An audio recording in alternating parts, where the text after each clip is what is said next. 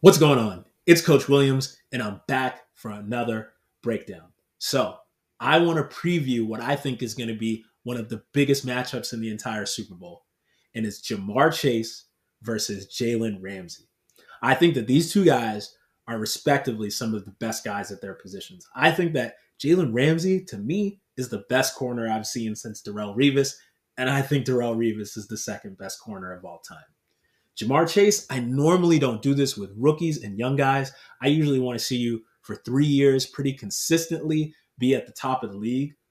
But just from what we're seeing from Ja'Marr Chase this year, especially with him having his college teammate Joe Burrow, who he has an amazing connection with, I don't think I've seen a rookie season like this since Randy Moss. So I think he's a top five receiver. So having these two go up against each other in the Super Bowl for the first time is going to be awesome. Now, with all the love and all the praise that I'm giving Ja'Marr Chase right now, the one thing about Ja'Marr is I don't think that he's really gone up against a premier corner, except for in the first matchup where he faced off against the Ravens and he had to play against Marlon Humphrey. Now, yeah, I know some people are going to hate on Marlon Humphrey, but if you don't understand the way that the Ravens defense works, Marlon Humphrey gets put into positions that most other corners don't. They make his job very difficult and this year, he had a little bit of struggles. Now, with that being said, Ja'Marr Chase went to work on him in this game. So let's break down the first play that I want to show you. So, one of the things that they were really successful in this game with was back shoulder throws. So, right here, Humphrey is in man to man coverage. Okay. And the first mistake that he does is he opens the gate way too early, right? You want to stay square to the line of scrimmage for as long as possible. And when you turn, you want to try to get contact with the receiver, right? You want to try to strike that shoulder pad or that armpit to be physical with him. He doesn't get hands on. Ja'Marr Chase gets a nice, easy catch. The other thing that we want to notice here, too, right, is look at Joe Burrow, right? He's got his arm cocked back and ready to throw, and Ja'Marr hasn't even looked back at the ball yet. The chemistry between these two is incredible, right? So that's a great throw, great catch, first down. Right. So now let's move on to the dog, Jalen Ramsey. All right. You want to throw some back shoulder throws against Jalen Ramsey? I don't know if that's necessarily a good idea. So let's watch this play right here. We got De- DeAndre Hopkins. Okay. Now, I don't think DeAndre Hopkins is a similar receiver to Ja'Marr Chase. Ja'Marr Chase is way more explosive, but we just want to see how Ramsey plays against back shoulders. Okay. So they're on the goal line here. And so we'll notice, right? Ramsey stays square, right? He doesn't open up his hips. And when he does open up his hips, he gets hands on, right? Hands and feet have to be tied together. He gets hands on and tries to flatten out this route, okay? So then when the ball comes back, he's got nice, good position. He's chest to chest with him. He's got his hands right here, and it puts him in a position where he can break up this pass. And then I love this right here at the end where he pushes him off and stares him down, right? So my philosophy on defense is I think you need to have at least a couple guys on your defense that are pretty volatile dudes, right? You need a little bit of volatility on your defense. You need a couple guys that they might be good for a 15 yard penalty uh, once every few games because there's the intimidation factor, right? Now we're not talking about headhunting anybody or being, you know, illegal or hurting anyone. But that little stare down, that little physicality, letting them know that I'm going to be here all day and in your hip pocket, I love that stuff. So you might complain and say, oh, that was on the goal line. It's much easier to defend the back shoulder throw on the goal line. Well, let's look at this play right here in the field. Now, again, I don't think that uh, you know Mike Evans is a very similar receiver to Ja'Marr Chase, but he is an X receiver, and Ja'Marr's been mostly playing X this year, right? And this is going to be another back shoulder play. So I think they're in quarters coverage here. Ramsey does a good job of reading it. Look how patient he is, right? He's not getting out because he trusts his speed, right? But once Evans commits, he gets physical, right? Gets that arm in there, right? Doesn't just open the gate, gets the arm in there, and then gets body to body with him, cuts him off, gets in phase. You even get a little bit of a push off here from Mike Evans, but he's so physical that it keeps him with in the catch radius of the play, and it's nice to have super long arms. Knocks it down. Weddle unfortunately gets a penalty on this play, but lucky for them, They considered it after the play, so it was fourth down. The Rams got the ball back.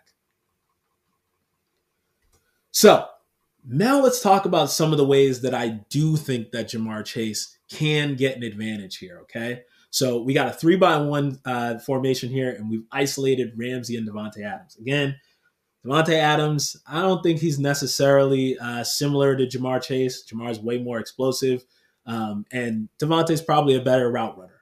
But I do think that this is something that they can do. Don't try to attack outside the numbers. Attack the middle of the field. Okay. So Davante squares him up, right?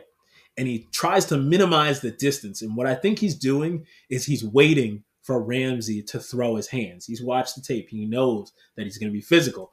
So when he throws the hand, Davante does a good job of knocking it down, gets inside, and that's all the space that he needs. Breaks the tackle here, and then the play ends. Well, Ja'Marr Chase is a little bit different. He's built a little bit different. So we're going to watch the same thing, right?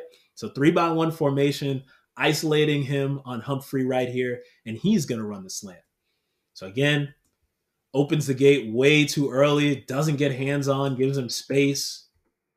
He gets inside. Ball's caught. Well, now we got four defenders in the area breaks one tackle, breaks two tackles, breaks three tackles. That's the difference, right? If he can get the ball and get into open space, the Rams might be in trouble. Okay. So we talked about a bunch of different receivers that I don't think he's necessarily similar to, but those guys played the X. Now we're going to look at a couple of guys that I do think that he is similar to when he has the ball in his hands, right? So we got AJ Brown down here. Now, again, I don't think that they're necessarily similar, but I do think that they're that new mold of receiver that's a yak monster, right? The yards after catch stuff. And they play like running backs. They're super physical guys that are hard to tackle, okay? So again, this is why I don't think that they should attack outside the numbers, all right? So we've got a little play action pass here.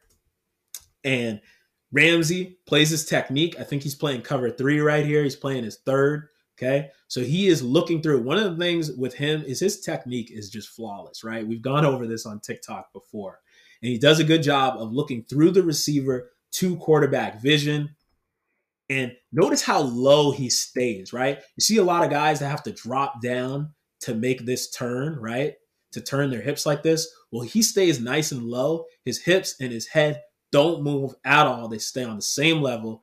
He comes out of the break and he is in position and he is coming like a bat out of hell on this football, breaks through it, pick.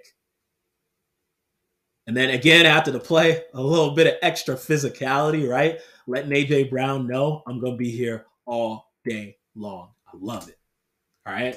So, one thing that they might do if they have a little bit of trouble with Ramsey on the outside, is try to move Chase around and get him in the slot or get him in some areas where Ramsey's going to have to move. But I think the Rams are insane if they do not have Ramsey travel with Chase. He's the only guy in their defense that's going to be able to cover him. And one thing that they've been doing a lot this year is they've been having him play this star role, right? So this nickel corner, nickel safety here, right? So on this play, the ball's not intended to go to AJ Brown. And he is just playing a curl flat position here. Okay. So the, as you can see, Tannehill's eyes are over here, right? So he comes all the way back, right? He's looking in the middle of the field. That's not there. So he looks back here. Okay. And he is late on this throw. Okay. It is very dangerous to throw late against Jalen Ramsey. He steps in front of it, knocks the ball down, they get lucky, it's only an incomplete pass. Okay. So if the Rams are going to put Jalen Ramsey in this nickel spot here, right? The star position that they've been doing a lot this year. This is one of the things that I think that the Bengals can do to get an advantage, all right? And it's come out in bunch sets, right? We saw before everything was all spread out. Well, if you bunch up like this, the way that the defense has to play it is it's four over three, right? Now there can be some situations where they just say, all right, we're gonna lock on and play them no matter what, like because this is Deebo Samuel right here. I think Deebo Samuel, when he has the ball in his hands, is very similar to Ja'Marr Chase. All right. So they can do some things where they say, okay, we're going to lock on and stay tight to our receivers, and right, we're not going to do any switches. But then you can run pick routes and rub routes, and if if that ends up happening with with uh, Chase, it could be six, right? So one thing that I think that they can do is do this bunch, right? So we got the four over three here, and the way that they can get Chase the ball in some advantageous positions is the rules are usually something like Ramsey's going to have the first guy short to the outside. This linebacker is going to have the first guy short to the inside. The safety is going to protect in from the uh, top of the numbers to the hash or to the middle of the field. And then the corner is going to have the first guy that goes deep outside the numbers. Well, if you do that, then you know where Ramsey is going to play, and you can have Deebo or Ja'Marr Chase go to where he's not going to be. So let's watch this play right here. Okay. So, right, we get this guy going outside, and then you have Deebo going straight up the field. So automatically that takes Ramsey off of him. Then he sneaks behind the linebacker, gets in the middle of the field, splits the safety and the linebacker, and he gone. Okay? Touchdown. So that is some of the stuff that I think that they can do with Ja'Marr Chase if they're having trouble having him play the X and playing on the outside against Ramsey. But either way, I think that this matchup is going to be awesome between these two players. And I am super excited to see them play against each other.